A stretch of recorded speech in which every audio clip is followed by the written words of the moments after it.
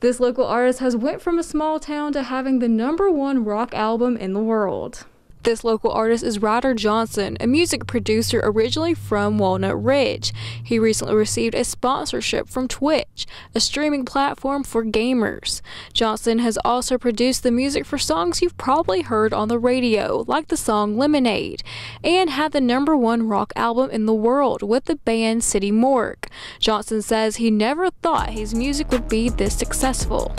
I, I have to sit back and look sometimes, especially when stuff like this happens, and I'm just like, what is going on? Sometimes it doesn't feel real, and then and then I look and I'm like, okay, this is real. Johnson says it means the world to him to have his work featured in a platform like Twitch. It means everything because I get to show everybody what I'm doing, and then you get you get fans along the way, and then people who like want to know more about you get to see your personality while you're doing that and so I try to keep it exciting. Johnson has a message for kids who may want to pursue the same career. Just because you're from a small town doesn't mean you can't hit it big.